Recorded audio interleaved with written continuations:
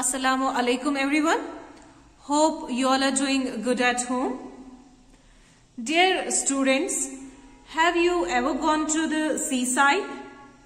क्या आपने कभी समंदर देखा है क्या आपको पता है समंदर क्या होता है सी a large body of salt water that are surrounded by land. There are so many creatures or animals and plants found in the sea. So, dear students, today we will learn about the animals that live in water or called water animals or aquatic animals. So, dear students, see how many animals are there in the sea? आप देख लीजिए समुद्र में कितने सारे जानवर हैं इन्हीं को हम वाटर एनिमल्स कहते हैं तो सबसे पहले आप देखेंगे this is the whale whale is the largest animal that live in water whales are mammals that means they grow their babies inside them and see this is the shark shark जो है, ये whale से थोड़ी छोटी होती है। Shark is a fast swimmer और shark के दांत जो है, वो काफ़ी शार्प होते हैं, यानी तेज होते हैं। It has fins to swim in the water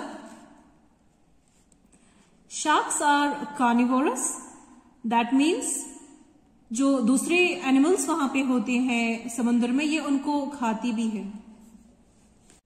Dear students this is a sea turtle It is one of the oldest creatures in this world. Turtles जो होते हैं, ये जनरली वाटर में ही रहते हैं और कभी कभार लैंड पे भी रहते हैं। तो बच्चों आई थिंक मेरे ख्याल से आप सबको पता ही होगा कि ये क्या है।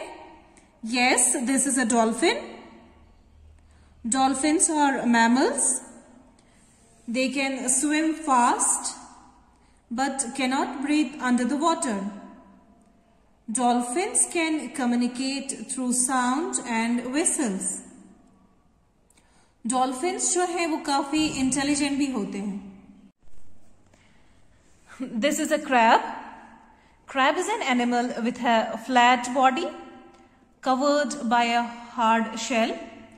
It has 10 legs and two small eyes.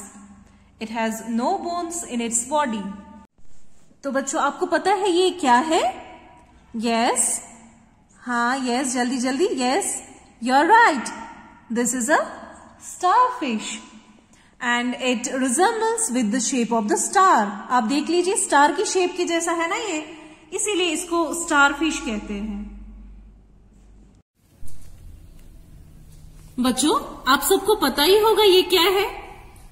हाँ yes this is a fish मछली, जो पानी के अंदर रहती है और जिसे हम खाते भी हैं, इससे हमारी आई साइट काफ़ी तेज हो जाती है।